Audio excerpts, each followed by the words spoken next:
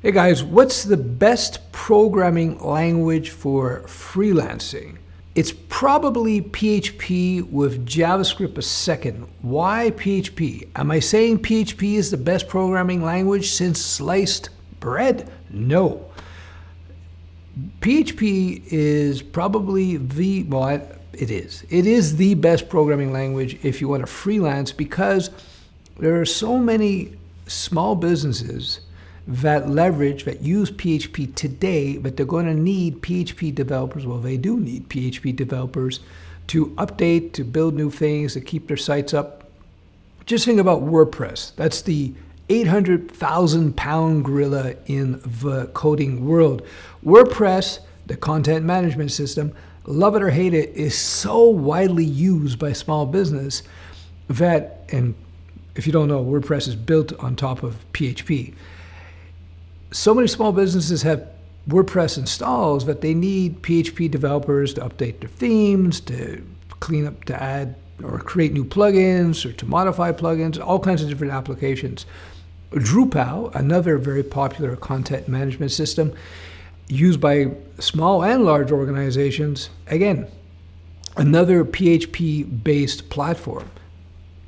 You get the idea. There's so much legacy PHP code out there. Even if you hate PHP or the idea of it, and by the way, most people who hate PHP, it's more about the idea of PHP that they hate. They've been told to hate PHP, so they hate PHP because they've been told to. They, a lot of people who hate PHP actually never actually worked with it. I was the same way. In my very first, not my very first, in one of my early freelance projects when I was a big Java developer. I was Java all the way. That was my language. It was such a great language at the time. It's still pretty good, but I wouldn't use it today. But anyway, back to the story. So I went in to see a client, and the client had a PHP based application. They wanted to expand it. I said, Hey, client, you should use Java because Java is this, this, and this, and this, and this better. And which is true, especially back then. This is back in the PHP 3 days when PHP sucked really bad. Anyhow, so they said, listen, no, we have our investment in PHP. We're not going to switch off of PHP because we don't want a part of our code base in PHP. And we don't want our part of our code base in Java. That's stupid. And they were right. So I said, okay, we'll just rewrite the PHP stuff in Java, and then you have a nice Java application. And again, they said, What are you crazy? We just spent all this money on PHP and we're going to rewrite application software that works? No, no, no. You, if you want the job, they said, they said, Uncle Stef, if you want the job, you're going to have to do it in PHP. Actually, back at the time, I wasn't Uncle Stef, I was much younger. They said, Cousin Stef, if you want the job, you're going to have to do this in PHP. So I said, you know what? I looked at the money. I said, okay, okay, I'll do the job. So I learned PHP and I didn't want to learn it. It took me all about a day to get comfortable with PHP because once, you know, if you know how to program, you know how to program. You know how to drive a car, you know how to drive a car. So I learned PHP and back with, this is old PHP, even with all the flaws that it had back in the, in the day, all uh, its limitations back in the day, it was still, I started understanding the merits of the language itself.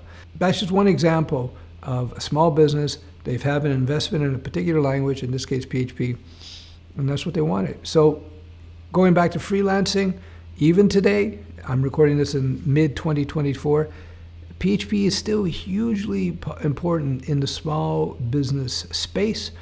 So if you want to freelance, it's all about the web. And in terms of programming languages, it's about PHP. So you want to freelance, learn PHP, and you're going to make money. Second, second to it is JavaScript. How about Java? How about C Sharp? How about Python? How about TypeScript? How about Swift? For freelance, mm, for every freelance Swift job, there's probably 10,000 PHP jobs. Okay, maybe 5,000. For every freelance JavaScript job, I'm talking freelance here, not jobs, freelance jobs. Uh, for every JavaScript freelance jobs, there's probably 100, 200 PHP freelance jobs. I'm not kidding. Just go look around, you'll see it for yourself. If you have any questions, you have any disagreements about what I just talked about in this video, post in the comments below and I'll actually respond, believe it or not.